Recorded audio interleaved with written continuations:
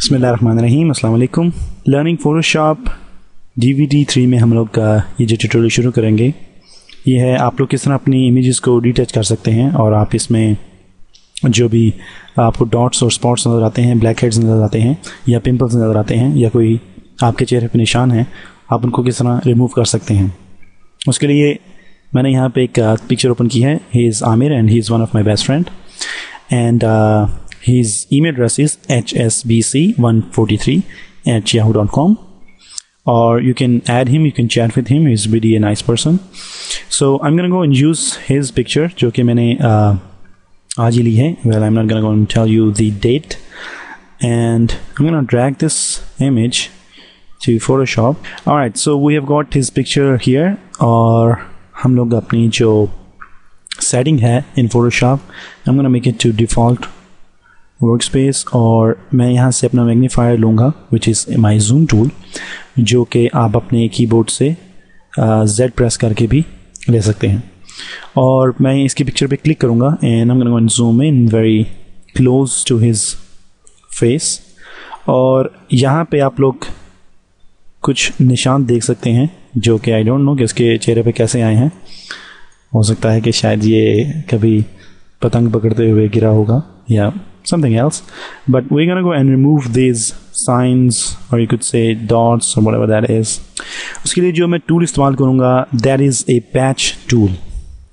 अगर आपका patch tool select नहीं है हो सकता है कि आप, आपका जो स्पॉट हीलिंग ब्रश टूल है वो सिलेक्ट हो by default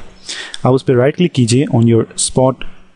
healing brush tool जो कि जे को प्रेस करने से आपके सामने आएगा. If you are working with move tool you press J so you can see spot healing brush. All right i'm gonna go and choose my patch tool और मैं यहाँ से डेस्टिनेशन लूँगा। Well there is a function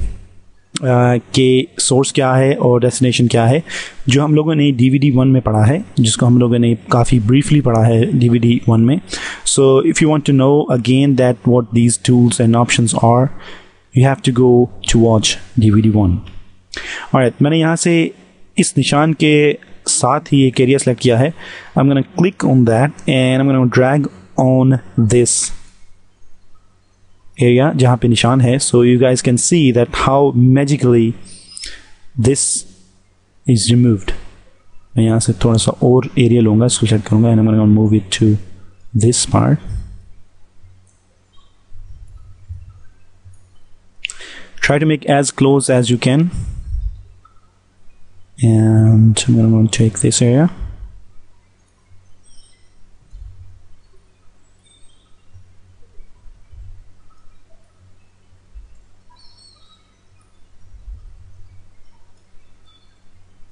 अगर आपके चेहरे पे कोई डार्ट्स हैं, कुछ दबे हैं, या कोई निशानात हैं पुराने। So you can remove them in Photoshop and you can retouch your images it's very great thing और आप इसका इस्तेमाल कर सकते हैं ख़ास तौर पर इन पिक्चर्स पर जो कि आप शादी वगैरह पे पिक्चर्स लेते हैं। So we go and remove all this dots press Z and zoom in again और यहाँ पे जो छोटे छोटे डॉट्स हैं और you can say pimples might be well ये पिक्चर हम लोगों ने आ, अपने ऑफ़िस के बाहर ली है। And he is an accountant in our academy of technical training which is in Dubai best in Dubai for aviation courses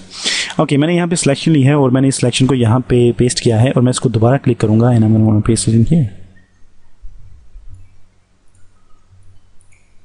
so अगर आप अपनी पिक्चर्स को टाइम देंगे और आप उनको काफ़ी डिटेल में साफ़ करना चाहते हैं so you have to give like one hour and more than one hour so you guys can see a whole new look into your images. As you guys can see that I'm removing these eye lines जो कि age के साथ साथ बनती हैं। Well he is not that old but he is young and he is very talented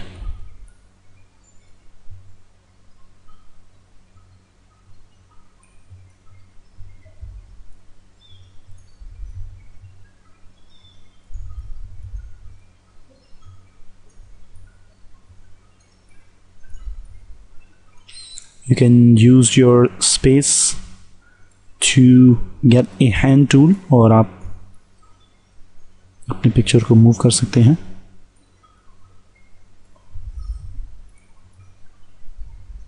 ये जो patch tool की सेटिंग है और इसका जो काम करने का तरीका है it depends on your computer speed so we can remove big dots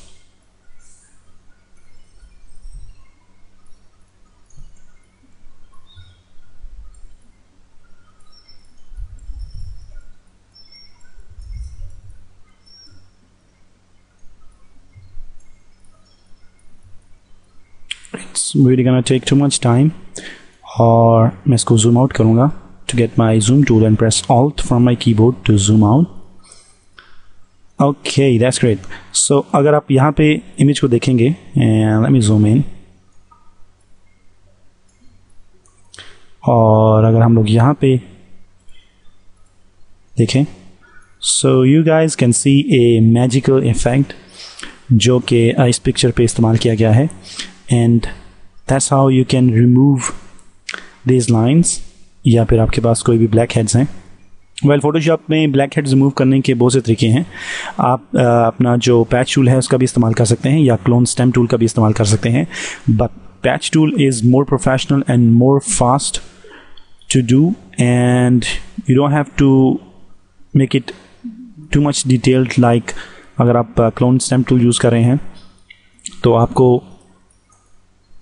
उसकी जो फीदरिंग है, उसकी जो फिलिंग है, उन सब पे नज़र रखनी होगी। लेकिन पैच टूल एक अच्छा और प्रोफेशनल